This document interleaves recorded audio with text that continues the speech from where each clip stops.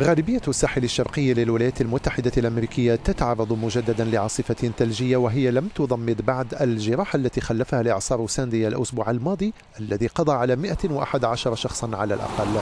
ليلة الأربعاء إلى الخميس وبعد تحذيرات مصالح الأرصاد الجوية وعمدة نيويورك وجد النيويوركيون الذين ما زال مئات الآلاف منهم محرومين من الكهرباء والماء أنفسهم. في وضع ذكرهم بالكابوس ساندي رغم أن شدة هذه العاصفة الثلجية أخف من الإعصار. تساقط الثلوج هو آخر ما كنا نرغب فيه أو نتوقعه لكن الثلوج أفضل من الأمطار والمياه. لا حاجة لنا بها الآن. تساقط الثلوج صدمنا.